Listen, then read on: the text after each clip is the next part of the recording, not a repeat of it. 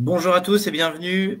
Ça y est, on est euh, lancé, on est en direct. Alors je vais laisser le logiciel se connecter tranquillement et vous laisser arriver petit à petit euh, dans la room en même temps. Voilà, je vois que vous êtes en train d'accepter l'invitation et d'arriver petit à petit. Alors première chose, salut Jean-Michel, ça va? Salut Michael, ça va, merci et toi? Ouais, très heureux de co-animer ce, ce webinaire avec toi sur l'investissement en Martinique. Alors, pour être sûr déjà sur la première partie que toute la partie technique fonctionne, est-ce que dans le chat, vous pouvez nous dire si vous nous voyez bien et si vous nous entendez bien? Et comme vous pouvez voir, il y a beaucoup plus de lumière, c'est beaucoup plus lumineux en Martinique qu'à Paris à la vue des webcams. Alors, mettez, je vais laisser tout le monde euh, le, le temps d'arriver dans la room. On va vérifier que toute la partie technique fonctionne bien. Salut Lionel, bonjour Lionel. Voilà, son et image, ok, impeccable, parce que je vois pas le tous les participants, c'est le logiciel du temps que ça charge. Comme ça, je suis sûr que ça démarre bien. Euh, je vais vous présenter, j'ai quelqu'un à vous présenter aujourd'hui, donc je vais bien sûr vous présenter Jean-Michel. Euh, je vais dire un petit mot aussi, bien évidemment, sur investissement locatif et sur, euh, et sur moi.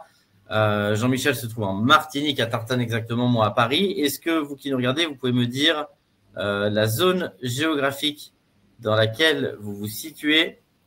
Et comme ça, on va pouvoir ensuite démarrer euh, ce webinar tout en couleur avec des beaux ciels bleus. On va vous montrer ça. On espère qu'on va vous faire voyager en même temps.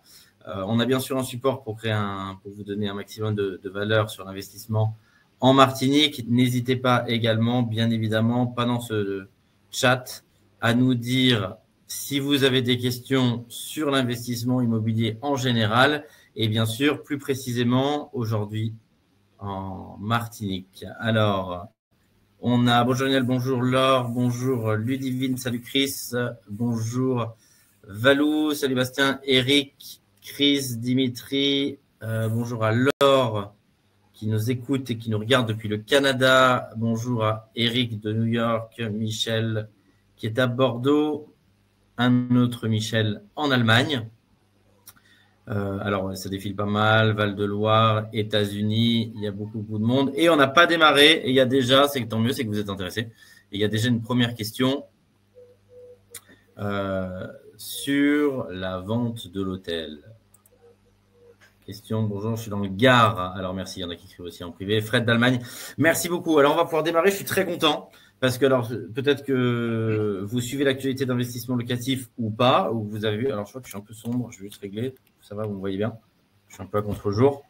Euh, vous suivez un petit peu l'actualité. Euh, deux choses que je veux vous dire. Première chose, je suis très content d'avoir euh, ouvert en Martinique, c'est bien évidemment la France, territoire d'outre-mer mais donc, ça ramène aussi un petit peu. On le fait aussi, on le fait bien évidemment pour le business et on le fait aussi euh, parce que ça fonctionne sur l'investissement et aussi parce qu'il y a une grosse part, bien évidemment, de plaisir de pouvoir vous emmener faire ce type d'investissement. Et deuxièmement, parce que j'ai également été, euh, entre guillemets, cobaye, on aime bien avec mon associé Emmanuel Ravier, bah, tout simplement faire réaliser à nos clients ce qu'on fait.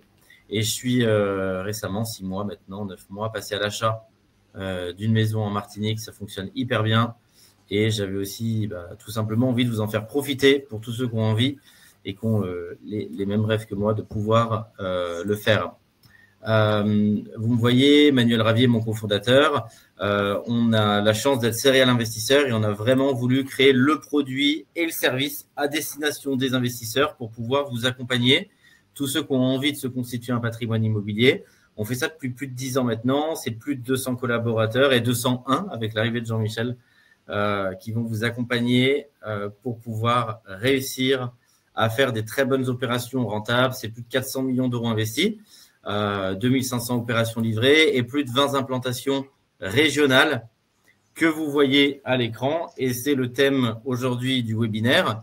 Ben, il en manque une avec l'ouverture euh, des dom et plus précisément de la Martinique. J'y étais il y a deux semaines. On a fait une soirée de lancement que vous pouvez voir à l'écran à la fois pour réunir bah, des investisseurs euh, qui sont présents là-bas, qui ont investi en France métropolitaine ou en Martinique, euh, pour pouvoir annoncer le, lancement de l'ouverture euh, de la ville. Et puis plus largement, bah, j'essaie aussi de faire des réunions d'investisseurs parce que ça permet de, discuter et de dialoguer avec ceux qui ont la même passion Et on va vous raconter un petit peu l'histoire, mais ça nous a permis de nous rencontrer avec Jean-Michel et de pouvoir développer et ouvrir la zone.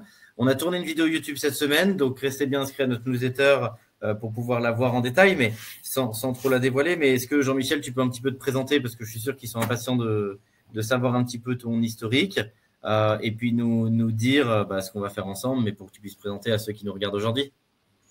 Ok, ben, je suis donc bonjour à tous. donc je m'appelle Jean-Michel Alcan, je réside en Martinique, je suis né en Martinique. J'ai 56 ans, bientôt 57. Euh, je suis professionnel de l'immobilier depuis euh, une vingtaine d'années. Euh, j'habite le nord de la Martinique. je travaille, donc, que ce soit dans le nord, mais principalement dans le sud, parce que c'est le secteur qui est le, le plus développé. Aujourd'hui, par mes fonctions depuis donc, la vingtaine d'années, ben, j'ai un gros réseau de, partenaires donc, que ce soit euh, les notaires, les agences, les experts immobiliers. Euh, ben, effectivement, donc je connais très bien puisque euh, non seulement pour avoir moi-même déjà construit ou revendu, notamment dans, la dernière opération qu'on a eu à, faire avec euh, où je faisais principalement de la location saisonnière puisque c'était mon bien. Euh, c'était mon premier investissement donc en location saisonnière, donc ça m'a permis effectivement donc de, de, voir comment ça fonctionne, de, je veux dire complètement de, découvrir donc le, le, marché donc du, du locatif saisonnier, euh, tout en connaissant déjà donc le, locatif sur la sur la longue durée. Alors aujourd'hui c'est vrai que euh, l'opportunité, donc le, fait d'avoir connu Michael, euh, ça, m'a permis d'ouvrir donc effectivement euh, les, différentes possibilités que je peux proposer donc au territoire, donc sur la France métropolitaine. Il faut savoir que j'ai déjà eu l'occasion donc d'accompagner pas mal de donc d'acquéreurs de l'Hexagone euh, que ce soit sur du foncier, puisque j'ai fait énormément de foncier, donc j'ai énormément travaillé sur, sur les lotissements, euh, les villas et les appartements. Donc ce sont des, des secteurs, je, je serais tenté de dire, qui n'ont pas spécialement de, secret. Euh, je connais bien les zones, je sais ce qui se vend, je sais ce qui se loue. Je connais les, les, les, zones qui sont extrêmement demandées, donc qui sont véritablement, on va dire, tendu. Euh, et pour ceux qui connaissent, en fait, euh, la, Martinique, je, je serais tenté de dire que ce, n'est pas du, chauvinisme, mais je, crois véritablement que c'est probablement euh, la seule ou peut-être les deux îles, donc Martinique et Guadeloupe, où on a la chance d'avoir euh, des climats et des, de, des une, végétation différente en fonction du secteur où on se trouve, sur une petite île en fait, hein, puisque on, pourrait dire qu'on a la même chose sur, l'hexagone. On, va dire en termes de, différence de climat, de, différence de végétation, mais la Martinique, on est sur à peine 1000 km et on a donc dans toute la partie du nord, on a énormément de végétation, donc c'est toute la partie euh, montagne pelée pour ceux qui connaissent, donc très humide, euh, et puis dans, dans le sud, on a effectivement une végétation donc assez sèche, avec le sable blanc, les cocotiers, enfin toute cette partie que je, dis qui effectivement qui, a tendance à faire rêver.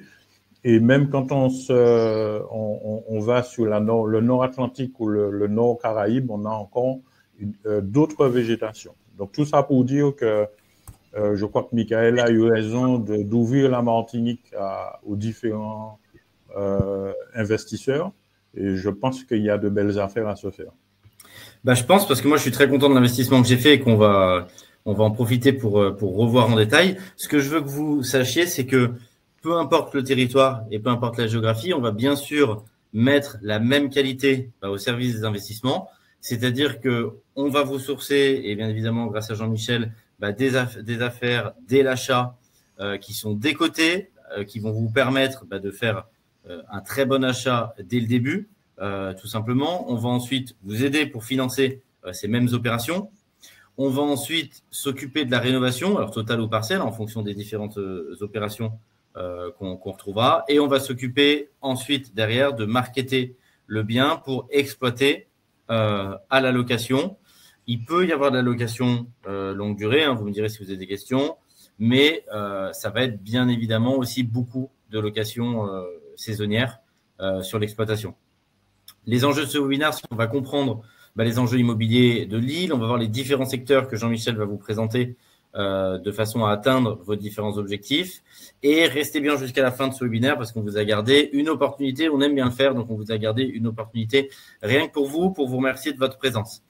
Euh, c'est souvent une question euh, que se posent les investisseurs et que je me suis posé avant d'investir en, Martinique, c'est est-ce que ça va être attractif? Est-ce que je vais arriver à louer? Est-ce que tu peux nous dire un mot sur l'attractivité de l'île de, manière générale?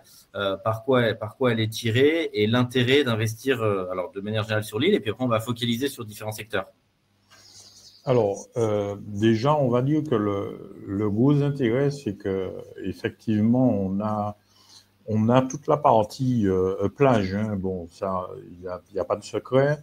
Euh, toute la partie plage, avec le sable, avec euh, toute la partie touristique, qui fait que on peut bénéficier, on va dire, de, l'exotisme en étant quand même sur un territoire français, donc avec des, des lois françaises, avec les mêmes règles que la France hexagonale. Et, de ce fait, si je prends l'exemple euh, euh, après le Covid, euh, on a eu énormément et on a toujours énormément de, demandes, donc une forte attractivité justement parce que les personnes ont préféré venir rester en France tout en, en, bénéficiant justement de, cet exotisme en fait. Hein. Donc il y, a, il y a déjà cette partie-là et puis ensuite il y a bien sûr la, langue, hein, puisqu'on parle français, donc les personnes viennent en Martinique, qui parlent français. Euh, et puis il y a toute la partie euh, culinaire qui est énormément recherchée. Euh, quand on vient en Martinique, on ne vient pas spécialement manger donc l'entrecôte, on vient manger le poisson, la langouste, les, crevettes, enfin voilà, on vient découvrir véritablement toute la partie culinaire donc des, des Antilles, puisque je dis Antilles, euh, j'intègre un peu la Guadeloupe parce qu'on a à peu près les mêmes, les mêmes bases. Euh, mais il est vrai que quand, quand on vient, euh, on, on, vient et c'est ce que recherche donc le, la, la, majorité donc des, des touristes, c'est justement bénéficier et rentrer, pouvoir connaître toute cette culture qui, qui, qui est de toutes les manières différente, euh, toute la partie musicale, toute la partie culinaire, euh, tout ce qu'on peut découvrir sur la sur les distilleries, par exemple. On a énormément de distilleries sur l'île euh, et qui font plaisir à, à, à visiter parce que euh, ben, on a des rhums qui régulièrement chaque année sont médailles d'or, médailles d'argent. Euh, bon, malheureusement au détriment de nos voisins guadeloupéens et guyanais, mais bon, c'est Euh, en, en, tout cas, on, on, a toute cette richesse-là, effectivement, que, qui est extrêmement euh, recherchée. Et puis, bon, on, on a une certaine, euh, on va dire, on, est dans une certaine sécurité. On n'est pas dans un, un, département où, quand, quand, on se balade, on se balade tranquillement. On n'a pas cette impression d'insécurité qu'on peut trouver dans, dans certaines régions, en fait. Oui, c'est clair. On, voit un petit peu quelques stats à l'écran sur la tension euh, du, marché immobilier. Est-ce que tu peux, alors il y a les chiffres qu'on voit à l'écran, euh, avec un, prix du mètre carré dans de l'ancien bah, qui, est en progression, en tout cas post-Covid, parce qu'on parle souvent aussi du, Covid, entre guillemets, euh, comme un point de départ. on voit quelques, quelques prix avec les zones les plus élevées en termes de positionnement de prix par mètre carré.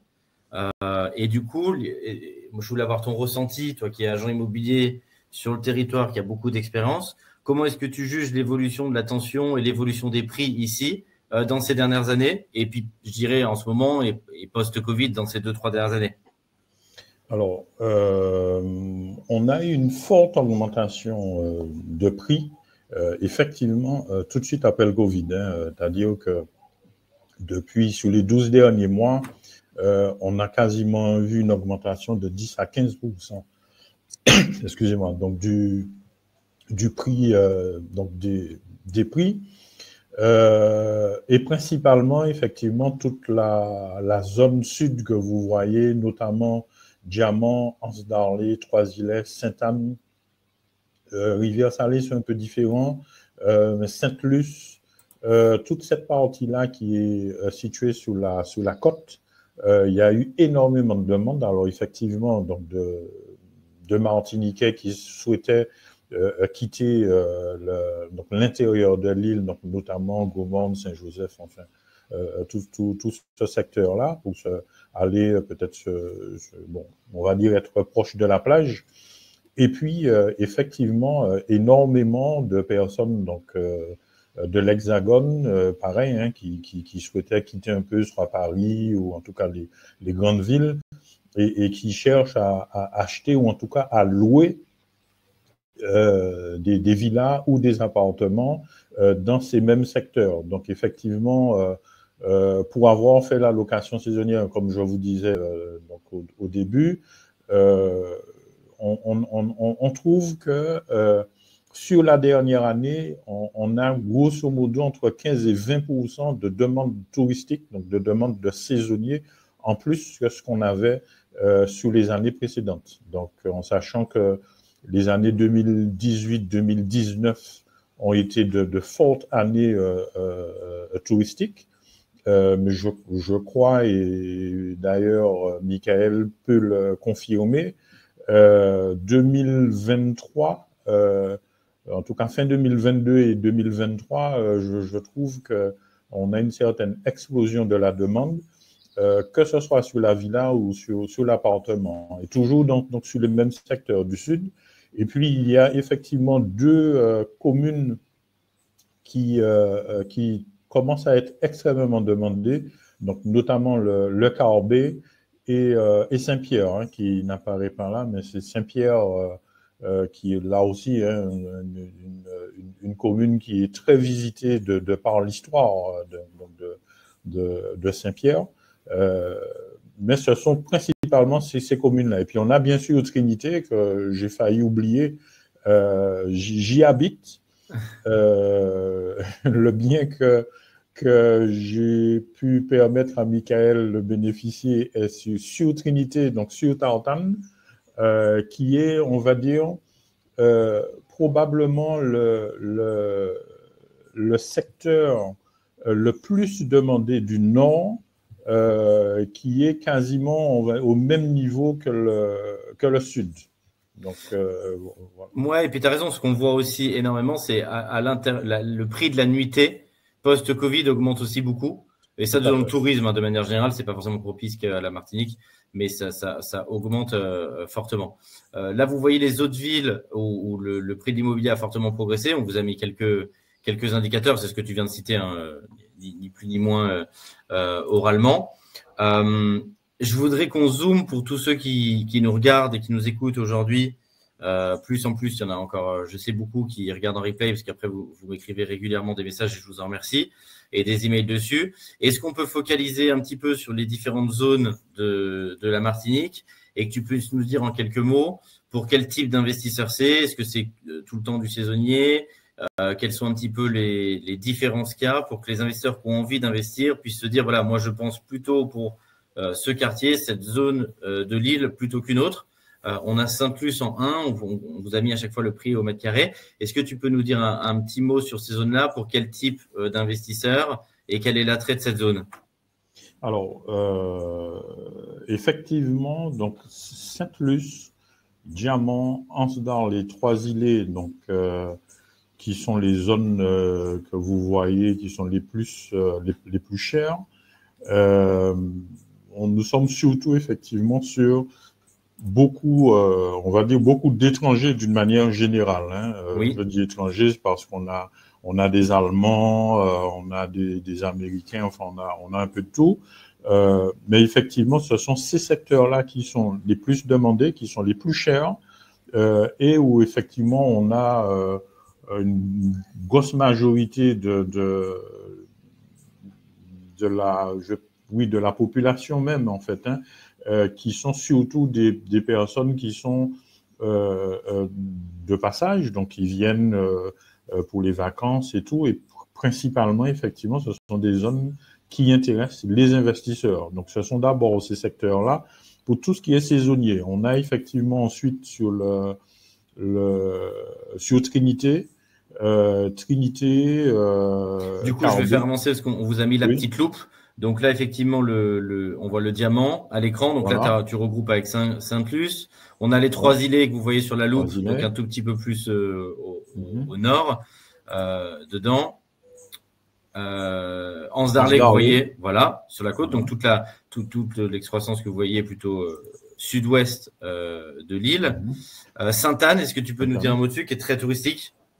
Alors, Sainte-Anne, c'est la, la, commune où on a les, les, plus belles plages et les plus grandes plages, en fait. Hein, puisqu'on, quand on a, par exemple, euh, on a la pointe marin, donc qui est, qui est très proche du beau, mais qui est extrêmement demandée. Oui. Et puis on a bien sûr donc les, les, les, salines qui, je pense pour toute personne qui passe en Martinique, euh, il faut absolument euh, découvrir. Donc quand on dit les salines, on a tout un secteur euh, qui reste très sauvage, qu'on appelle la table du diable, donc est il y a énormément de, campeurs par période mais c'est une partie qui est extrêmement sauvage où on peut effectivement euh, euh, faire des, randonnées euh, et tout. Et c'est une, de toutes les manières, une, une commune qui est, qui probablement est peut-être la, la, plus demandée avec les trois îlets.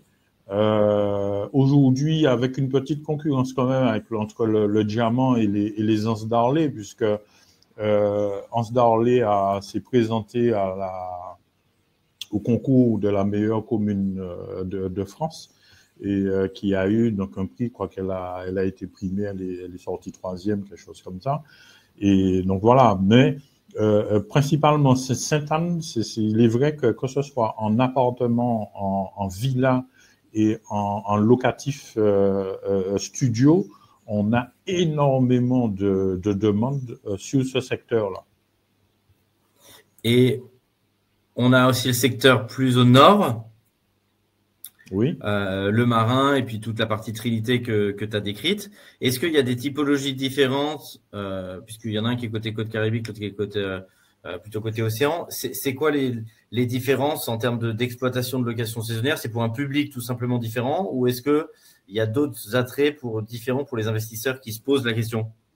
Alors, euh, si on prend l'exemple de Trinité, par exemple, Trinité, que ce soit Bourg de Trinité et, et euh, on a un peu de tout, mais il est vrai que la majorité des personnes qui viennent sur Tarentane, euh, sur Trinité, ce sont des personnes qui recherchent quand même, tout en ayant le côté touristique, qui recherchent un peu plus de calme, que, euh, que le secteur, par exemple, euh, Trois-Îlets. Donc ça, c'est toute la clientèle.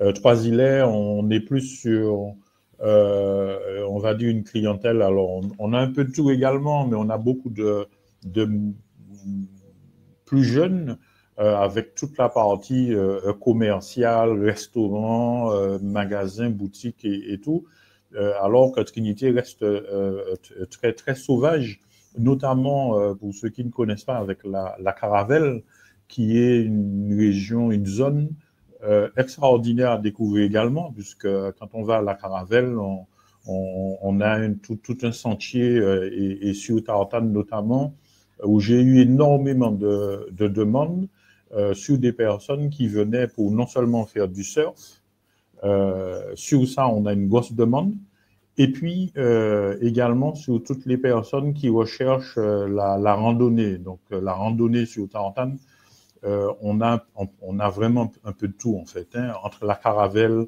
la Pointe à Bibi et compagnie, on, a environ 30 km de sentiers pédestres où on peut découvrir des, des, des coins euh, euh,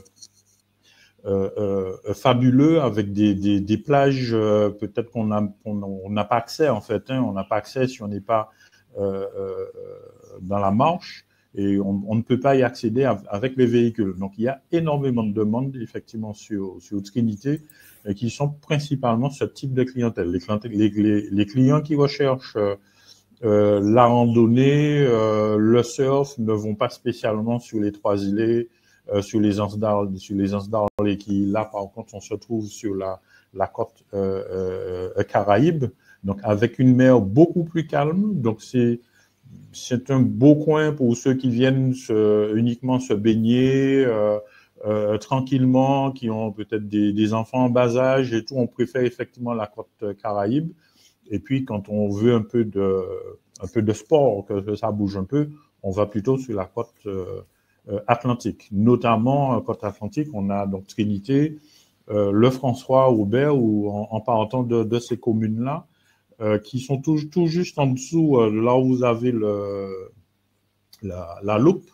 Euh, on a des îles également à visiter, donc avec des, des, sorties qui sont organisées par des, des, entreprises euh, touristiques qui peuvent vous emmener sur, des, sur les îlets. On peut passer donc des journées magnifiques avec donc au bord de l'eau, on a les pieds dans l'eau, on est on, on a le sable blanc. Enfin voilà, c'est vraiment, c'est vraiment des coins à découvrir. C'était euh, ce qui m'avait poussé, puisque l'exemple d'opération euh, que, je vous montre réalisé, c'est ni plus ni moins que l'opération que j'ai réalisée. Donc, encore une fois, dans le détail, je, vais vous le citer, puis il y aura vraiment une vidéo YouTube où on vous a tout, tout filmé et tout expliqué en détail, mais je vous, je vous redis un mot. Euh, la volonté de départ, pour moi, elle était de. J'étais déjà venu quelques fois en Martinique, et c'est exactement pour les raisons que tu as décrites, Jean-Michel. J'aime bien faire du surf, et donc j'étais venu dans ce coin ici à Trinité parce que c'est très réputé et très connu pour, euh, pour les surfeurs. Et d'ailleurs, il y a aussi beaucoup de personnes qui font du surf, qui louent du coup et qui recherchent euh, ce coin-là pour aller surfer et donc qui louent en, location saisonnière. Donc ça en fait un avantage concurrentiel fort par rapport aux, autres zones de, la Martinique. et du coup, j'avais toujours un peu l'envie et le rêve de pouvoir investir sur un côté plaisir, de me dire voilà, je vais rechercher un investissement qui va pouvoir en un, bien évidemment, euh, être rentable, mais en deux, que je pourrais aussi, euh, euh, le cas échéant, conserver quelques semaines dans l'année pour, pour mon propre plaisir, sans affecter le, bah, la rentabilité du projet, ou un tout petit peu parce que je le loue pas, mais, mais que le projet reste rentable. et donc, c'est comme ça qu'on s'est qu'on s'est rencontrés, puisque j'ai acheté la, la, maison de Jean-Michel, qu'il l'exploitait déjà lui-même bah, quand il n'y était pas en location saisonnière. Euh, je vous ai mis les chiffres, donc c'est en budget total, on était à 380 000 euros. Euh, ça génère, je vous l'ai mis en, aide de frais de conciergerie bah, dans les 33 000 euros, en sachant que euh, c'était le cas pour Jean-Michel et c'est le cas pour moi, bah, on l'utilise plusieurs semaines dans l'année, donc ça tourne pas entre guillemets à plein régime, puisqu'on en profite. Il faudrait aussi réintégrer le fait bah, qu'on y va et qu'on va, va pas se, se, verser, mais c'est comme si on si on n'y était pas, on l'aurait loué, donc ça générerait encore plus. Euh, derrière. Et donc, ça fait des rentabilités bah, qui sont très intéressantes, puisque là, on frôle les 9 points de rentabilité, c'est même plus, puisque je l'utilise euh, quelques semaines euh, dans l'année. Je vous montre ici. Donc, c'est une maison qui est divisée en deux appartements. Ça fait comme deux T3, elle fait entre 110 et 120 mètres carrés. Ça fait comme deux petits T3, donc deux chambres, un, un, salon, une salle de bain, et pareil à l'étage supérieur.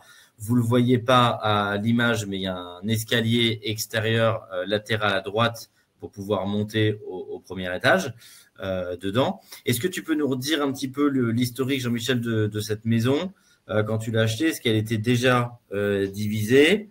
Est-ce que c'est courant de diviser? C'est aussi ce qui est intéressant puisque ça procurait beaucoup de rentabilité au projet immobilier.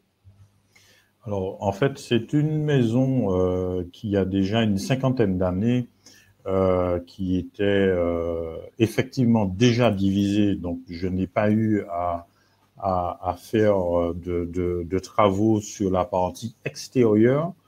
Euh, par contre, effectivement, à l'intérieur, puisqu'il a fallu remettre au goût du jour, hein, c'est une maison qui avait déjà une cinquantaine d'années, le propriétaire étant euh, monsieur d'un certain âge hein, euh, qui avait du mal donc effectivement à gérer et à s'en occuper. Elle était louée à l'année, donc euh, bon c'est alors que moi je trouvais qu'elle avait plus de potentiel en la louant donc en, saisonnier de par son emplacement. Hein, si vous avez à l'écran, on, on, a la mer à, à 20 mètres pas trop loin, donc on voit pas cette partie-là, mais on a le bourg donc de, de qui est à peine à, à 150 mètres. donc j'ai dû refaire presque l'intégralité, on va dire, de la distribution intérieure du, du rez-de-chaussée. Et à l'étage, euh, par contre, euh, pas grand-chose. Hein. Euh, la cuisine, la salle de bain, euh, un rafraîchissement, euh, des stores parce qu'on est exposé à la, à la pluie. pour que les, les, les, clients puissent bénéficier de la, de la terrasse, il fallait quand même une certaine protection. Et puis, bien sûr, on va dire, repeindre tout ça avec des couleurs qui sont assez vives pour, pour euh, rappeler un peu ce que c'est que la Martinique. donc, donc voilà, et, euh, et, dès, la, dès la fin des travaux, en fait, euh, donc euh, les chiffres qu'annonce Michael, alors c'était effectivement déjà mes chiffres, à savoir que je l'occupais bien au moins une semaine par mois parce que j'adore le coin et que en plus de ça, l'exploitation n'était pas optimisée puisque je n'avais fait une parution que sur euh, Abritel et TripAdvisor. Et je n'avais pas fait par exemple euh, euh Airbnb qui est un gros euh, un gros pourvoyeur donc de de, de clients. Et, euh, et avec ça j'avais déjà ces chiffres là parce que l'objectif bien sûr était d'avoir une rentabilité mais pour moi c'était aussi également d'en profiter le plus souvent possible en fait. Donc voilà donc oui, les, chiffres, hein, je vous les ai mis net euh, de, frais de conciergerie et potentiellement ça peut même monter plus haut parce que là c'est net de frais de conciergerie et avec une partie d'occupation euh, pour les vacances à, entre guillemets à titre personnel. Donc c'est aussi d'intérêt. Est-ce qu'il y a beaucoup de projets comme ça, Jean-Michel, qui sont divisés en appartements euh, sur sur l'île? Alors oui, surtout que alors ça se trouve surtout sur des maisons qui sont alors là, on est, sur un terrain plat, donc euh, heureusement que c'était déjà, euh, on va dire, distribué comme ça. Mais alors, je sais pas, pour certains, c'est un désavantage, pour d'autres, c'est un avantage, c'est que on, a en Martinique, on est quand même une île euh, relativement euh, accidentée, donc beaucoup de, de et tout. Et on trouve énormément de, villas donc sur deux niveaux et euh, ben le, le, plus souvent, les, les personnes ont, ont donc ont, construit, donc on va dire la, la maison d'habitation donc à l'étage et au rez-de-chaussée, donc on, on, va dire le, le, le sous-sol. Euh, effectivement, on retrouve très souvent donc des T2, des T3 ou des studios qui sont justement destinés à de la location saisonnière. Donc, euh, on, on, en trouve. Ensuite, on peut effectivement trouver des, des villas qui peuvent être encore divisées euh, de manière parce que c'est il est vrai que les, les, surfaces qui se louent les mieux, ce sont les studios et les T2. Donc, euh, euh, mais même en ayant un T3, euh, on, on, a énormément de demandes ou des personnes qui veulent avoir de l'espace, qui veulent être à l'aise ou qui se déplacent en famille ou entre amis. Donc, il y a énormément de demandes, mais si on a la chance d'avoir euh, une, belle surface et de pouvoir diviser euh, en, en, deux ou trois studios euh, quand c'est possible euh, sans générer trop de frais, euh, je, je, pense qu'il faut y aller parce que euh, les, les, studios, alors que ce soit pour les retraités qui sont une, une, une grande, qui font, on va dire que c'est une grosse clientèle en Martinique parce que L'avantage des retraités, c'est que euh, ils peuvent venir toute l'année. Hein. Ils sont euh, en Martinique en juin, ils sont en septembre, ils sont en octobre. Alors que quand on a les familles, les familles se déplacent pendant les, périodes de, euh, de, vacances scolaires. Euh, donc vacances scolaires, donc c'est décembre, c'est Pâques, c'est juillet, août. Enfin voilà. Donc il y a de grosses périodes comme ça, et puis il y a les périodes. Donc on va dire mi-mai, juin septembre jusqu'à mi-octobre où ça reste euh, relativement euh, calme, eh bien, on peut avoir la chance d'avoir effectivement des, des retraités, des personnes ou même des, des, des jeunes hein, qui, qui n'ont pas spécialement envie de la foule et qui se déplacent sous ces périodes-là. Les billets d'avion sont moins chers sous ces périodes-là. Et puis, il appartient aussi à, à, à l'exploitant de faire des prix intéressants sur les périodes creuses de manière à attirer justement de la clientèle qui pourrait se, développer, se, se déplacer sur ces périodes-là. Ouais, pour vous dire un petit peu mon, mon retour d'expérience, j'ai repris le, le, flambeau en, restant, en rachetant la maison de Jean-Michel. Euh, clientèle d'habitués aussi, c'est effectivement ça. Sur ce coin de, de l'île, en tout cas, on avait une clientèle d'habitués. J'imagine que c'est pareil hein, dans, dans d'autres coins de l'île. Mais certains m'ont fait des réservations même euh, un mois. Tout le mois de mars a été, euh, a été booké par euh, un couple qui, a, qui est resté l'entièreté du mois. dedans, j'y étais bah, il y a encore quelques jours. Euh, et juste avant euh, que j'en prenne possession, il y avait encore quelqu'un qui était euh, un habitué qui, qui, vient d'année en année. il y a une question, je vois qu'il y a en privé, c'est avec ces chiffres, vous immobilisez pour vous combien de jours, semaine, année? Bah, on, choisit. Hein. Moi, j'y suis allé là deux semaines aux vacances de, de Pâques, j'étais aux vacances de février.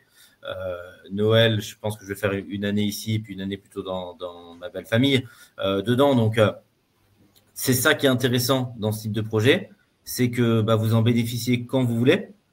Euh, vous pouvez un peu bloquer vos semaines un petit peu à l'avance pour pas que quelqu'un réserve sur vos semaines et que vous deviez l'annuler, euh, tout en générant euh, une excellente rentabilité. Donc c'est vraiment l'intérêt de quoi. Moi, mon souhait, c'était de pouvoir finalement me payer une résidence secondaire rentable. Vous savez, quand vous discutez avec les gens, la plupart du temps, ils, vont vous dire voilà, une, résidence secondaire, bah, ça coûte beaucoup d'argent, j'ai des frais, j'ai une taxe foncière, euh, faut que je prenne le temps d'y aller. Donc, ce que je, voulais vraiment recherché, c'était ça, c'était de me dire, je peux euh, avoir une résidence secondaire au soleil qui est rentable. Euh, si j'y vais une année moins, bah, c'est pas grave, je la loue. Si j'ai envie d'y aller une année un petit peu plus, bah, je peux y aller. Et en attendant, mon projet, bah, plus qui s'autopaye, parce que je peux dire, quand vous êtes sur des rentabilités à plus de 8%, vous êtes largement en autofinancement. Donc, c'est, je, me suis dit, mais pourquoi euh, tout le monde ne le fait pas plus, de pouvoir se payer une résidence secondaire au soleil et pouvoir, euh, quand ils ont envie euh, d'y aller, en bénéficier. Donc c'était vraiment le, sujet de fond. On va prendre quelques questions parce qu'il y en a.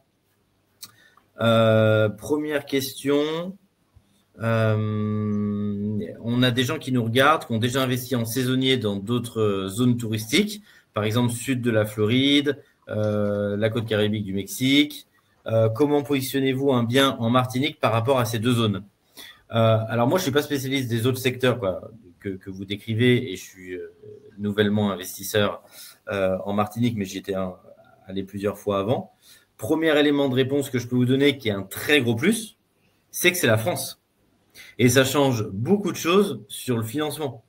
Euh, Isabelle qui, pose la question, je ne sais pas si vous êtes résident fiscal française ou pas, euh, du coup, mais ça fait une énorme différence puisqu'on va dire un mot sur le, financement des futurs clients qu'on va euh, accompagner avec grand plaisir sur cette zone-là.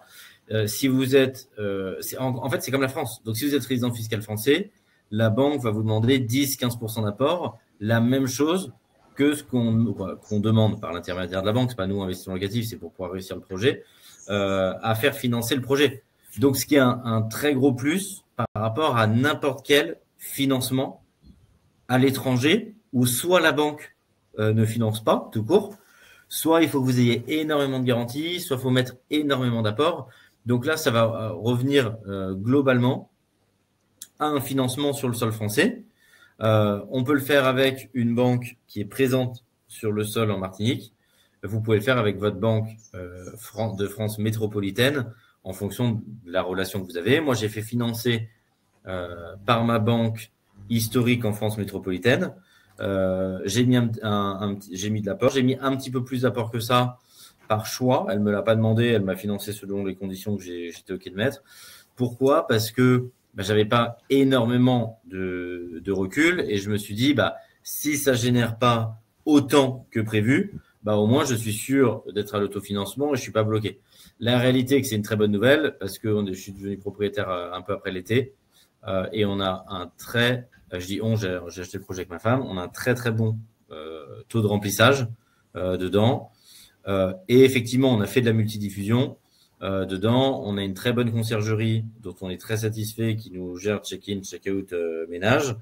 Et ma femme s'occupe de répondre aux voyageurs toute proportion gardée, honnêtement, il euh, n'y a pas de réservation à la nuitée quand ils viennent en Martinique. Ils réservent pour une semaine, euh, deux semaines. on pourrait ouvrir la nuitée, mais on n'a pas envie de, s'embêter, puis je pense pas que ce soit le gros de la demande. Donc, bah, vous pouvez paramétrer et, on a des gens qui réservent minimum une semaine, deux semaines, trois semaines, qui de toute manière on est en réservation instantanée. Donc, s'ils payent, ils, ont directement la réservation confirmée. Il n'y a pas forcément besoin de leur répondre et de leur confirmer. Donc, c'est assez fluide concernant la réservation et on est, on est très content du taux de, remplissage, d'où le projet euh, et l'ouverture en Martinique. Euh, je ne sais pas si ça a répondu parfaitement à votre question, Isabelle, mais je dirais que déjà le gros plus, je dirais que c'est une zone touristique.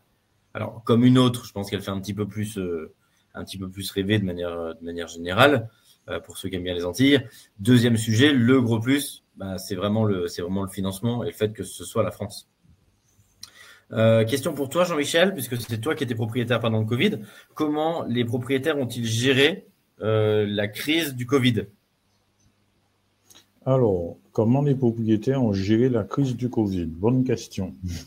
bah, J'imagine, voilà, pas, tant bien que mal, mais comme Oui, tant bien que mal, tout à fait. Alors, la crise du Covid, euh, on a eu quand même, je vais dire, la chance euh, sur une partie de, la crise d'avoir euh, de la demande sur des durées, euh, on va dire, plus longues que, que la semaine.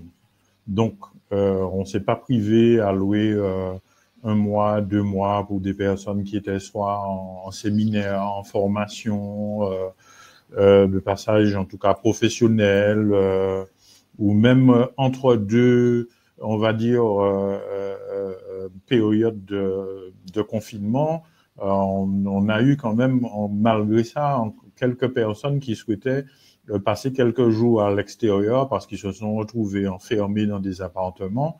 Alors que ce soit des personnes de l'Hexagone, mais vous avez également des, des demandes de Martinique, donc de Martiniquais ou d'étrangers qui vivent en Martinique et qui souhaitent passer une semaine au bord de la mer malgré, euh, je veux dire, le confinement. Hein. Alors quand je dis le confinement, pas tellement pendant la période véritablement où personne ne pouvait euh, euh, se déplacer, mais entre deux confinements, on a eu un mois de confinement, un mois et demi, ça s'arrêtait, on recommençait plus ou moins donc les activités. Ben on a eu malgré ça quelques demandes. Mais c'est vrai que les choses se sont plutôt bien passées, notamment avec la la location, on va dire, sur des périodes un peu plus longues. Et, ça, ça, ça s'est ça s'est extrêmement bien passé par rapport à ça. Alors, on n'a pas eu le même, euh, la même rentabilité, c'est euh, clair, euh, mais on n'a pas eu à se plaindre. En tout cas, malgré ça, il y a eu, alors je n'ai pas fait le calcul, mais on a quand même eu une petite rentabilité. Oui, tout bien, ce qui se passe, bah, pour, euh, pour avoir connu le sujet en, métropole, euh, j'ai le souvenir de, logements euh, étudiants, et notamment si je parle de Paris, où de manière, les étudiants déposaient leur préavis parce qu'ils allaient rentrer pour être chez leurs parents. Donc la réalité du Covid, c'est qu'elle a, a touché tout le monde. Euh, que ce soit euh, aux Antilles sur les zones touristiques, mais même euh, à Paris intramuros, je peux vous dire que les logements étudiants, les étudiants n'ont jamais reçu autant de préavis et ils restaient pas forcément dans un studio ou un T2 à Paris ou à Bordeaux ou à Lille et ils rentraient chez leurs parents bah, pour pas à la fois rester enfermés et puis parce que les cours étaient à distance ou annulés quoi. Alors, juste, juste, pour compléter quand même quelque chose, je veux dire que j'ai eu la chance également de passer le confinement dans cette maison au bord de mer. Oui, il y a pire. Voilà, donc pense que... Mais oui, j'imagine que sur l'île de, de part, bon là c'est de par la position euh, euh, typiquement, et c'est bien sûr ce qui, ce qui m'a séduit aussi. Euh, moi j'ai connu la maison parce que je louais à quelques maisons dans la même rue ce coin-là, et la position géographique de, de, cette rue faisait que bien évidemment le cadre est exceptionnel et que ça permet vraiment de se sentir bah, pied dans l'eau, c'est le cas de le dire. La crise du Covid, je vais prendre d'autres questions. Euh, en, Martinique ou de manière générale dans, aux Antilles, la, multiplication touristique des sargasses affecte-t-elle euh, des communes? Et puis peut-être plus largement, merci Alexandre pour la question, on va, on va parler de la question, est-ce qu'elle affecte plus largement le, sais pas, le taux de rentabilité, les, locations ou autre Alors, euh, oui, oui. Euh, il y a une euh, difficulté pour certaines zones, en fait. Ce qu'il faut savoir, c'est que les sargasses euh, arrivent principalement donc, sur la côte atlantique, Donc, effectivement, Marigot, Sainte-Marie, Trinité, le Aubert, le François Vauclin. Alors, euh, on a quand même une petite exception de la côte atlantique parce que les sargasses se déplacent par rapport au, courant. Et euh, même s'il y a un petit coin, effectivement, à Tarentane où on a un, peu de sargasses, mais Tarentane reste quand même très, très protégé des sargasses. Ensuite, toutes les zones dont j'ai parlé tout à l'heure, donc Sainte-Anne, euh, Anse-d'Arlé, Trois-Îlets et tout, euh, Saint-Luce, ce sont des zones qui sont, qui sont sur la côte euh, caraïbe principalement et qui ont, on va dire, euh, exceptionnellement des sargasses. Donc, il y en a eu, il doit peut-être, il y a un mois à peu près, ça a duré deux, trois jours. Mais je veux dire, le reste de l'année, bon, sur, sur, toute cette partie-là, il n'y a pas de sargasses. Les sargasses, c'est surtout sur le Aubert, le Vauclin, une partie du Nord et ces îles, ces, ces, secteurs-là, en fait, ne sont pas spécialement les secteurs les plus demandés touristiquement. Trois-Îlets, par exemple, ou Diamant, euh, restent des zones extrêmement demandées et euh, on n'a pas de sargasses, en fait. voilà. Euh, un petit mot, on a une question de l'or. Est-ce qu'on peut avoir un ordre d'idée des taxes foncières et autres impôts locaux et des frais de conciergerie? Alors, taxe foncière, on a la taxe foncière en fonction des secteurs où vous vous trouvez. Enfin, c'est comme euh, comme l'hexagone. Hein. Euh, mais je veux dire que on a une taxe foncière qui va de 1000 euros pour une villa. D'accord? On va, je prends l'appartement, donc ça peut être 700, 800 euros en fonction de là où on se trouve. Trinité, Sainte-Anne, Sainte-Luce, Trois-Îlets, c'est un peu plus cher pour les appartements. Euh, on peut avoisiner les 1000, 1400 euros pour la taxe foncière, donc sur les trois îles et diamants. Et pour les villas, on est plutôt sur 1000 euros jusqu'à, ben, ça peut aller à 2600, 2800, 3000 euros en fonction du bien. Si c'est un bien euh, avec énormément de surface et d'appartements avec beaucoup de fonciers, ben, on peut se retrouver avec 3000 euros de taxe foncière. Mais je veux dire que la, grande moyenne euh, de ce qu'on trouve entre appartements et villas, on est plutôt entre 800 et 1200 euros.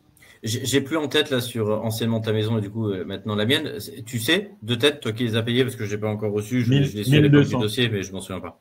1200 voilà, 1200 euros. Donc si, vous, si vous regardez proportionnellement, en sachant que là, je sur les 33 000, j'ai enlevé les fiers de conciergerie, puisque vraiment chaque appartement va générer environ 20 k par, par an de revenus locatifs, donc partez sur du 40 k euh, quand c'est plein. Donc là, j'ai voulu parler net de frais de, de conciergerie.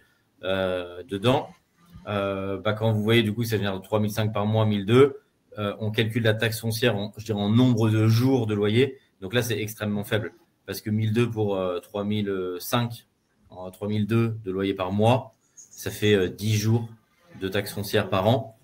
Bah, c'est bas. C'est pas, pas cher du tout quand on le remet en perspective. impôts locaux, est-ce qu'il y a d'autres impôts à payer? Autre que la taxe foncière euh, Non, après, euh, ça dépend, je veux dire, du, du statut. et là, on hein. sur, voilà, tout à ouais, fait. sur de la fiscalité personnelle, sinon on n'a pas d'autres charges. Non, et, frais de conciergerie, moi, ça me coûte 20%. Euh, dedans. Jean-Michel, quand il habitait, faisait quelquefois une partie de lui sur le lac Veugère quand il était en bas et gardait la, par exemple la partie basse, il louait la partie haute. Moi, je suis à distance, donc et puis par manque de temps, de, dans tous les cas, je suis à distance, donc euh, je, délègue.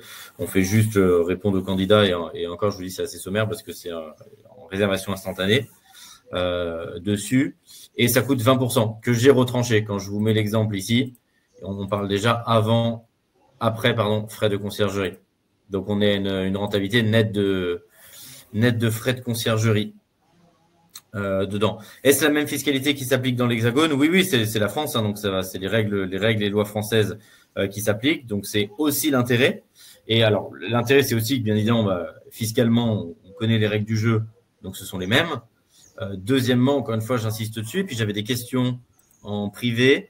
quid du financement? Nicolas, vous me demandez, vous me demandiez, pardon, quid des frais d'entretien? Dedans bah, Potentiellement la rentabilité plus haute. Là, je sais parce que je suis au bord de la mer que je pense que j'aurai des frais d'entretien qui sont un peu plus élevés, mais, ça va avec le cadre. C'est ce qui permet aussi de générer une rentabilité plus élevée. Parce que franchement, parce que bien sûr, avec l'air de la mer, le sel, etc., forcément, ça travaille un petit peu plus que si j'étais une, une température euh, de, 15 degrés et 20 degrés euh, toute l'année. Mais ça va aussi avec la rentabilité, le fait de louer cher, parce qu'il y a un emplacement euh, qui est aussi bien évidemment en fonction et, en, bord de mer. Euh, financement, je vous ai répondu, du coup, je vous ai, c'est vraiment le sujet. C'est comme c'est la France, bah, il y a une appétence à financer qui est comme la France. Euh, Odile, le financement est pourtant difficile, même si on est français. Oui, Odile, mais là, c'est le, monde du financement et la conjoncture actuelle du, financement. Mais sur les règles de financement, bah, pour l'avoir vécu, Jean-Michel euh, l'a vécu. On a déjà des clients qui nous ont fait confiance, qu'on signé, sur lesquels on a étudié le, on a étudié le financement. L'intérêt, c'est qu'il y a des filiales de banques françaises qui sont présentes. Bah, tu, il y en a un certain nombre. Il y a, il y a Bred, tu veux en citer d'autres, Jean-Michel, qui sont présentes en, en Martinique et où c'est des antennes de grands réseaux nationaux français. Ben, on a à peu près, euh, je veux dire presque toutes les banques, hein, la BDAF, la BNP, Crédit Agricole, Caisse d'épargne, euh, Crédit Mutuel, euh, euh Bred, euh, qu'est-ce qu'il y a encore On a à peu près toutes les ouais, banques. Il y a des, il y a des voilà. courtiers aussi, Meilleur Taux est présent. Enfin voilà, il y a des courtiers voilà. nationaux, des marques nationales que vous connaissez qui sont qui sont présentes. quels sont les mois de basse saison? Question de Cédric. Merci Cédric. quels sont les mois de basse saison et quelle est l'occupation ces mois-là? Est-ce que tu peux nous donner un, un, ordre de grandeur? Quelle est la haute saison? Quelle est la basse saison? Alors, la, basse saison, on est sur le mois de mai. Alors, euh, début mai, ça se loue encore, mais on va dire mai-juin, c'est la basse saison. Et septembre, euh, une partie d'octobre, puisque en octobre, on a déjà euh, fin octobre de la demande. On va dire qu'on a ces quatre mois, euh, mai, juin, septembre, octobre, qui sont les mois les moins, les, moins occupés, on va dire. Mais euh, pour pallier à, à, à, cette inoccupation, euh, ce que moi je faisais, c'est que sur ces périodes-là, je faisais des prix euh, intéressants. Hein, quelquefois, on pouvait louer 30% moins cher. les billets d'avion étant moins chers également sur ces périodes-là, on avait quand même de l'occupation et en mettant en place cette, stratégie, on peut quand même se retrouver avec un taux d'occupation d'environ 30%. Oui, ce qui permet, et tu les, il faut lisser à l'année ce que vous gagnez, parce que ce qui compte, c'est bien évidemment sur 12 mois glissants. Euh, et, je peux vous dire qu'il y a beaucoup de réservations, on fait des très beaux mois euh, en ce moment, et en plus, en partant du principe bah, que septembre-octobre euh, étaient des, des, mois plus faibles de, basse saison où, euh, où ça a quand même euh, en plus été rempli. Mais effectivement, là, faut faire du, faut, faut adapter les prix euh, pour, que ce soit loué. Et, pareil, hein, à la hausse, bien évidemment, quand c'est la, grosse saison. Quid de tout ce qui est cyclone, ouragan, comment gérer les intempéries? Est-ce que tu as eu des, sujets dessus, par exemple, bah, sur cette maison-là ou, sur d'autres? Quid des, des assureurs Si tu as un mot à dire dessus, c'est une question qu'on pose souvent. Ben, en fait, euh, alors l'assurance, euh, oui, j'ai pu avoir, euh, ma maison a pu être assurée sans, sans, trop de difficultés. Alors toutes les assurances, effectivement, euh, ne n'acceptent pas, mais notamment, si je prends l'exemple de, ma banque personnelle qui est le Crédit Mutuel, ils ont accepté de d'assurer. Et pour un coût supplémentaire de, je parle mensuellement, on va dire à l'année, de 60 euros supplémentaire à l'année. Ça m'a vraiment pas coûté euh, euh, cher, euh, en tout cas sur la partie assurance. Euh, ensuite, euh, alors l'autre question, c'était quoi? L'assurance euh, Cyclone, ouragan. Ah oui, mais... cyclone, ouragan. Alors, bon, je veux dire que j'ai eu, on, on, a eu un cyclone, c'était en 2007. Euh, non, qu'est-ce que je dis? 2017. Euh, 2017, euh, on n'a on pas eu de problème en fait. Hein, on n'a pas eu de problème. Simplement, le fait d'avoir les volets, les volets roulants, ça permet de sécuriser euh, l'intérieur puisque vous avez vu que ce sont des, des, menuiseries, euh, donc c'est de la boiserie. Donc en fait, ça laisse passer l'eau Et donc, du coup, effectivement, le fait d'avoir les volets roulants, ça protège extrêmement bien l'intérieur. Euh, mais au niveau de, de, de, la mer et du vent, on n'a pas eu de problème. La toiture que vous voyez, vous voyez qui a été refaite euh, lors de l'acquisition euh, en 2016 euh, n'a pas bougé. on n'a rien eu de particulier. Donc voilà, il n'y a, a, pas de crainte majeure.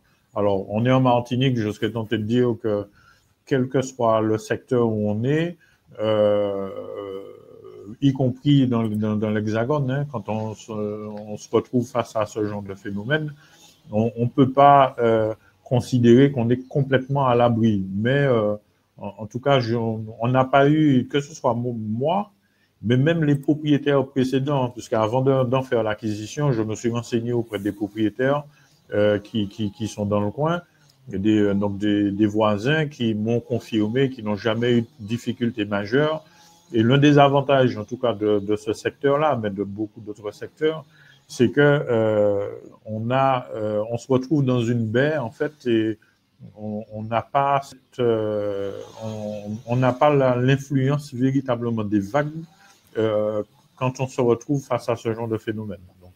Donc, non, de toute manière, bah, là-dessus vous prenez une assurance.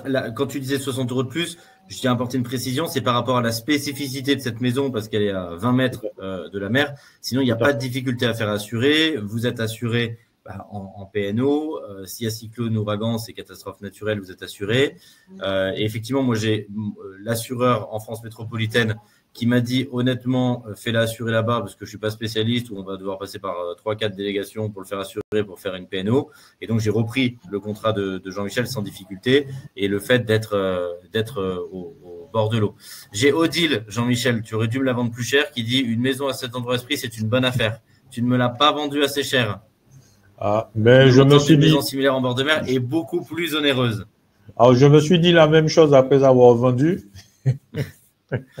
Et merci Odile de me confirmer. Vous me direz combien Jean-Michel vous a payé pour assister à ce binaire et mettre, euh, et mettre ce commentaire pour me, pour, me faire croire que j'ai fait une très bonne affaire. Non, je suis extrêmement content de, euh, de l'achat. Très bonne rentabilité, bon taux de remplissage et bien évidemment le, le luxe de pouvoir avoir une résidence secondaire euh, rentable. Il y avait une question, alors que je crois que j'ai vu en privé, puis après on va vous, restez bien, on va vous montrer l'opportunité qu'on a pour vous. Euh, Est-ce que c'est légal de faire du saisonnier toute l'année en Martinique? Est-ce que le nombre de nuits n'est pas limité? Est-ce que le, le, gouvernement ou le législateur euh, pense un jour à l'encadrer? Ben, En fait, euh, il n'y a pas d'encadrement dessus. À partir du non, là, c'est ouais, vous pouvez louer quand vous voulez. hein. Oui, en, vous louez quand- autant de Voilà. nuitées que vous voulez. euh, C'est pas comme en métropole dans certaines euh, agglomérations. Et puis heureusement, et, et est-ce qu'ils vont le faire? Ben, Je ne sais pas, hein, j'ai pas de boule de cristal. Mais, euh, mais bon, une grande part de l'activité économique, bien évidemment, est liée aussi au tourisme. Donc ce serait un petit peu suicidaire de- d'empêcher les gens d'exploiter parce que ça enlèverait de l'offre et donc euh, ça ferait fortement euh, monter les prix. Il y a une question sur la sécurité. Michael, quel accueil avez-vous en tant qu'investisseur de métropole par les locaux et d'une manière générale, quelle est la situation sécuritaire? Je suis intéressé mais échaudé par un investissement fait en Corse où j'ai pas mal d'actes de malveillance du fait que je suis métropolitain et pas un local. Euh, question euh, de Oussem. Bah, à part le fait que maintenant je me prends pour un Antillais, non, je rigole. Euh, non, non, j'étais hyper bien accueilli. Euh, bien sûr par Jean-Michel, mais toute la rue, entre guillemets, et le quartier de manière, de manière générale. Non, c'est très mixé entre des, entre des Antillais, des locaux et des métropolitains qui sont venus s'installer à l'année et des vacanciers dedans. J'ai commencé à me faire un, très bon réseau. Hein, ça va de, de bien évidemment Jean-Michel, de voisins dans, la rue, de, quelqu'un qui est charpentier dans la rue, à, aux profs de surf avec qui j'ai euh, sympathisé. Non, moi j'y vais avec mes trois enfants qui sont petits, donc autant vous dire que si j'avais un, euh, pas été bien accueilli avant d'y aller, ou que j'avais eu des doutes sur l'aspect de sécurité, bien évidemment jamais j'aurais fait un investissement pour y aller avec femme et enfants euh, si, si j'avais un doute quoi.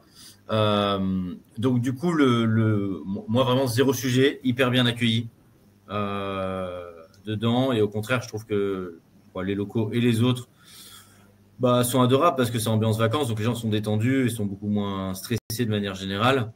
Euh, bah, toi, Jean-Michel, qui vit à l'année, je sais pas, peut-être tu peux dire un mot. Moi, j'ai à aucun moment, et j'ai beaucoup vadrouillé hein, dans l'île, ressenti une seconde d'insécurité. ou de malveillance Oui, en fait, Michael a bien répondu. Alors, je reviens sur la, rue en, question, puisque c'est bon, c'est ce qu'on vous présente, mais euh, je veux dire que cette rue, on a euh, autant d'antillais euh, que de métropolitains. Donc, et pourtant, il y a une, on va dire une, entente. il n'y a, a, pas de tension, il n'y a aucune difficulté. Donc, euh, de, de, cohabitation. D'une manière générale, sur, sur, sur mais ça se passe exactement de la même manière ailleurs. Euh, donc Tartane, Ansdarlé, euh, Sainte-Anne, euh, Sainte-Luce, tout ça, ce sont des villages de, de, pêcheurs. Et je veux dire que la pêche vit euh, euh principalement de, ben, bien sûr, de, du tourisme, donc par les, à travers les restaurants, mais y compris les personnes qui, qui, qui sont logées euh, et qui viennent acheter le poisson, euh, la, la, langouste et compagnie. Donc, du coup, je veux dire qu'il y a une, euh, une, très bonne cohabitation de tout ça. Il n'y a pas de tension majeure. Alors, on va dire que comme partout, on, peut se retrouver effectivement face peut-être à quelqu'un qui n'a pas compris ou, ou bon, on ne sait pas, mais on va dire que ça, on, le retrouve partout, principalement en tout cas en Martinique. Euh, vous allez au-delà de Tarentanas d'Arles, Saint-Plus et Sainte-Anne dont je viens de parler. Vous allez sur des, zones un peu plus, un peu balnéaires comme, comme Trois-Îlets, Diamant, euh, où il y a une grosse euh, concentration donc, de métropolitains. Et ça se passe extrêmement bien. Il n'y a aucune difficulté. Euh, moi, quand j'ai envie de changer de coin, euh, j'y vais, je vais me balader avec mon épouse, on va aux Trois-Îlets. Euh, on va dire qu'on est probablement, on ne les compte pas, mais on doit avoir 50% d'antillais, 50% de métropolitains dans les restaurants, dans les rues à se balader, au casino, enfin voilà. Et pourtant, il n'y a pas de tension, il n'y a aucune difficulté. Non, je l'ai pas ressenti. Puis c'est très, ça reste euh, ambiance aussi très touristique euh, euh, dedans. Donc non, là, je pense que c'est une ambiance très familiale et c'est Odile qui est du, qui est soit martiniquais, soit vous vivez en Martinique, mais à Tartane, c'est ambiance familiale, c'est génial. Donc oui, je vous, je vous confirme. Hein, et pour avoir un peu vadrouillé quand même sur l'île. Il euh, n'y a pas de. À aucun moment, euh, j'ai ressenti une tension. Euh, je vois l'heure qui tourne. Je regarde juste s'il y a une dernière question. non, je pense qu'on a à peu près fait le tour et qu'on a pas mal répondu. J'en arrive à l'opportunité du jour. Jean-Michel, tu nous as mis une opportunité de côté. Est-ce que tu peux nous dire un petit mot dessus? C'est au Diamant, donc secteur très touristique. une villa, et je te laisse en dire plus. Alors, à la fois sur les chiffres, et je vais vous mettre bien évidemment les images de la villa. Alors, c'est une villa qui est située au Diamant. Donc, euh, pour ceux qui se rappellent un peu euh, euh, on est sur la côte Caraïbe. alors, cette villa, en étant à, l'extérieur, donc vous avez une vue sur ce qu'on appelle la femme couchée, donc les Anses d'Arlé. Donc, c'est une, vue magnifique. Euh, on a une villa, donc c'est un T4, donc trois chambres, euh, cellier, euh, séjour, deux salles, deux salles d'eau, un WC indépendant, une terrasse et un jardin, on va dire, d'environ 300 mètres carrés. Alors, si vous voyez, en fait, il n'y a absolument rien à faire comme travaux à part un petit rafraîchissement extérieur et intérieur si on veut, mais qui n'est pas nécessaire.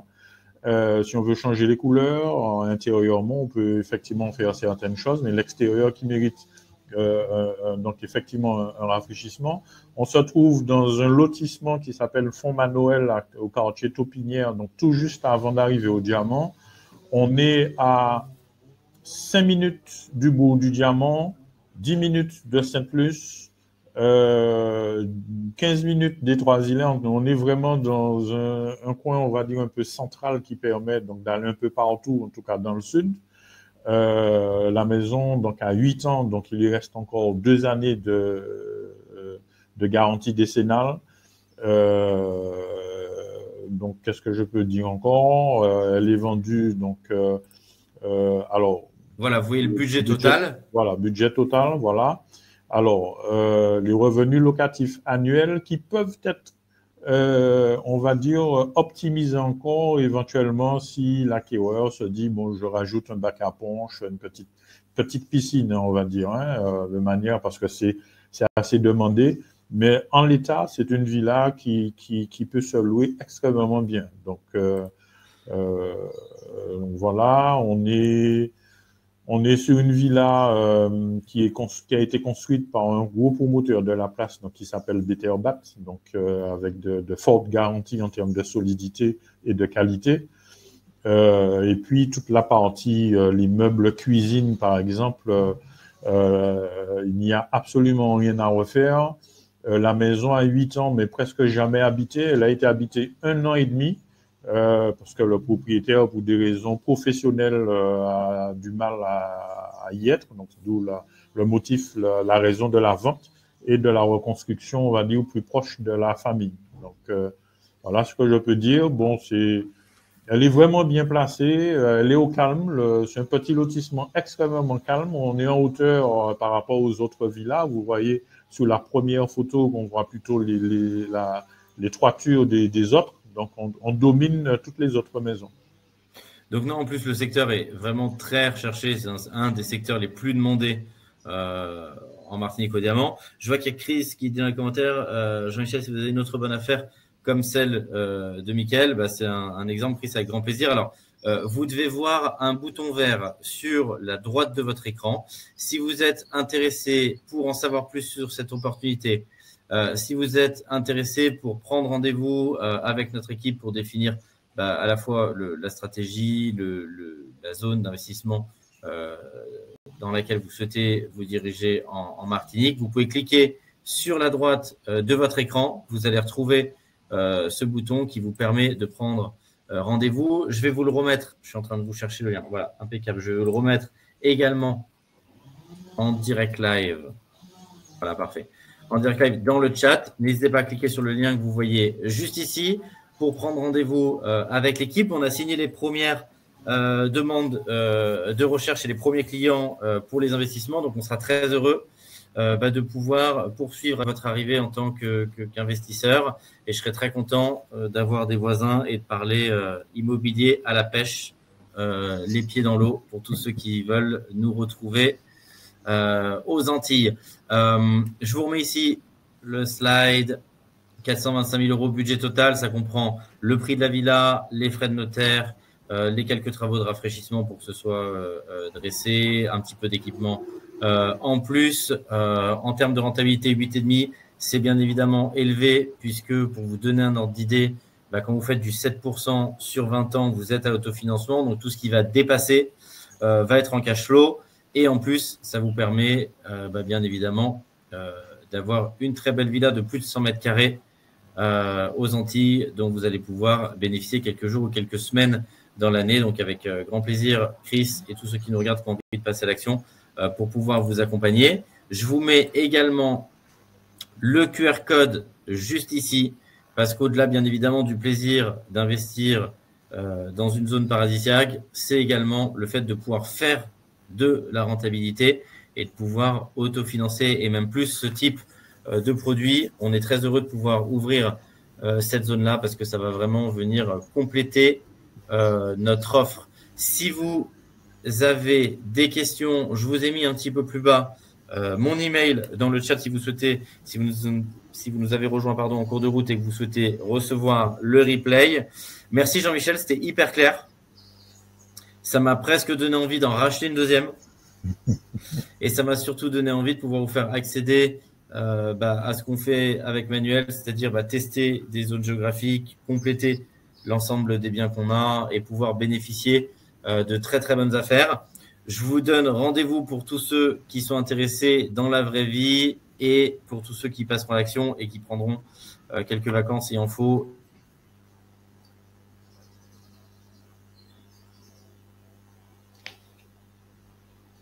Je vous dis, hop, il y avait une petite connexion qui avait sauté et c'est revenu et c'est parfait parce que c'est la fin. Merci Jean-Michel et je vous dis à très bientôt de l'autre côté, du côté des investisseurs qui passent à l'action. Merci à tous d'avoir été encore au rendez-vous et fidèles au rendez-vous. Et merci Jean-Michel pour tes explications et hâte de pouvoir développer fortement cette très belle île. Ok, ben, je suis ravi de participer à, à, cette installation en tout cas et d'aider les différentes personnes, les différents futurs investisseurs à faire de bonnes affaires. Merci Jean-Michel, merci à tous et je vous dis à très bientôt. À bientôt. Au revoir. Au revoir.